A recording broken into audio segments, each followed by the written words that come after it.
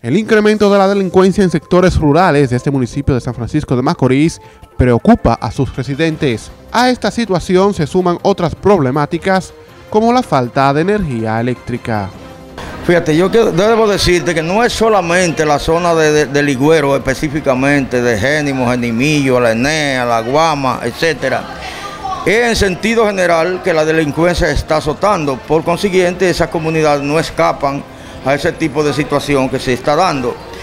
Y a eso se suma la situación de la energía eléctrica, que es uno de los factores más negativos en estos momentos, que aunque ya la gente desde norte ha estado haciendo reuniones constantemente con la comunidad de Génimo y sus comunes para ver si se instala lo que es el circuito 24 horas, que vendría a solucionar un gran problema.